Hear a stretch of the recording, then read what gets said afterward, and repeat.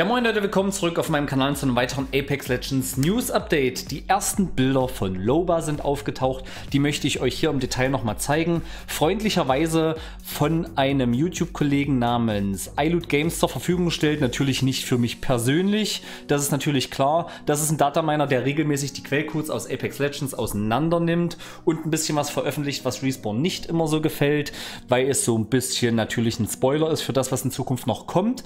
Äh, ihr habt es im Thumbnail ja sicherlich schon gesehen, dass es um Loba geht. Äh, das sind Originalbilder, wie sie in Zukunft aussehen wird. Wir können natürlich davon ausgehen, dass sie in Season 5 erscheinen wird. Alles andere macht keinen Sinn. Ich zeige euch jetzt so ein bisschen einen Rundumblick, wie Loba aussieht. Na, das ist Bildmaterial von iLoot Games, logischerweise.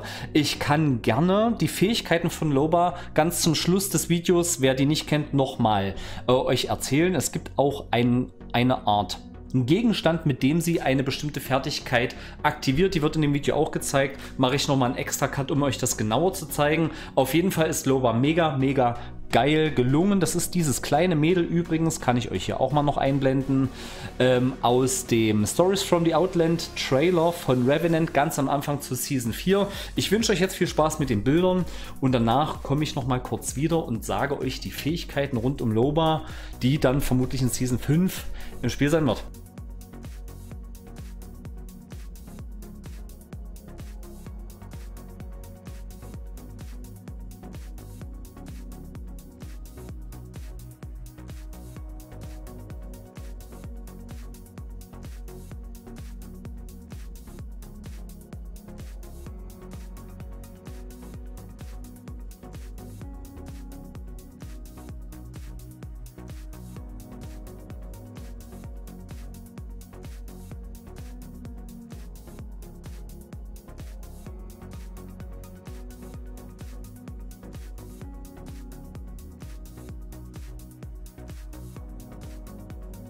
Ich erzähle jetzt noch mal was zu den Fähigkeiten für alle, die die nicht kennen. Ich lese es mal so ein bisschen ab, weil ich es einfach nicht im Kopf habe. Und zwar ist die erste Fähigkeit Eye of Quality nennt sich das. Und zwar kann Loba Loot, der in der Nähe ist, durch Wände sehen. Ob man das vorher aktivieren muss, das werden wir dann sehen.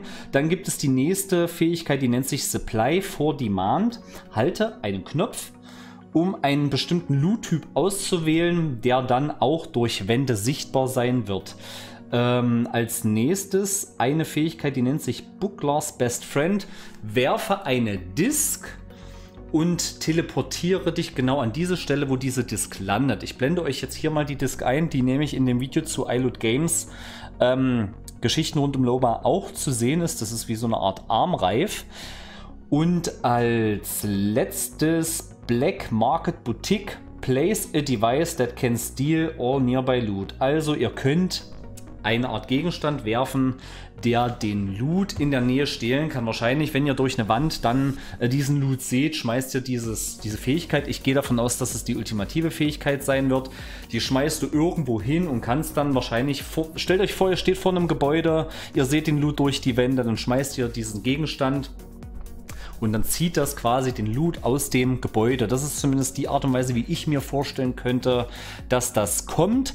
Und bevor ich es vergesse, am 24. April, das wird von iLoot Games in dem Video nämlich auch genannt, soll es einen Teaser rund um Loba geben. Ob das Ingame-Teaser-mäßig was sein wird, ob das ein Trailer ist, das kann ich aktuell nicht sagen. Lasst euch da einfach mal überraschen. Natürlich, wie immer, sollte es da aktuelle Informationen geben, werde ich euch das auf diesem Kanal natürlich zeigen. Das soll es von mir schon wieder gewesen sein. Ich wünsche euch jetzt noch schöne Ostern. Ähm, lasst dem Video wie immer einen Daumen nach oben dann, aber wenn ihr neu seid, wenn ihr rund um Apex Legends nichts verpassen wollt, das war's von mir. Haut rein, bis zum nächsten Mal. Ciao.